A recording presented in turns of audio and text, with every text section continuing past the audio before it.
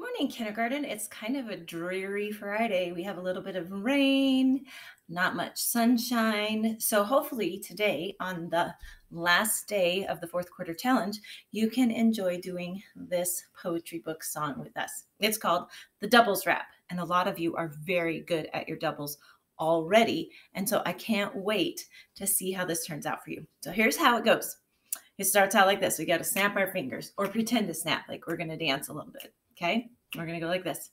It's the doubles, baby. Let's go, let's go. It's the doubles, baby. And we start with zero. Zero plus zero is zero. Oh, one plus one is two. Ew. Two plus two is four. More. Three plus three is six. Kicks, and you kick your foot right there. Four plus four is eight. That's great. 5 plus 5 is 10. Again. 6 plus 6 is 12. That's swell. 7 plus 7 is 14. Let's lean.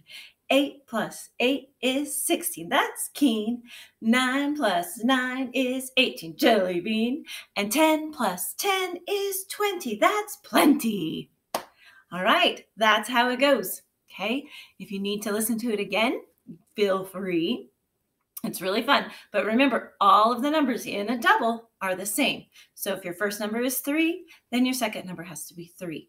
And then Mrs. Jolliffe is going to show you a fun way to do doubles. Happy fourth quarter challenge, kindergarten. Have a great day.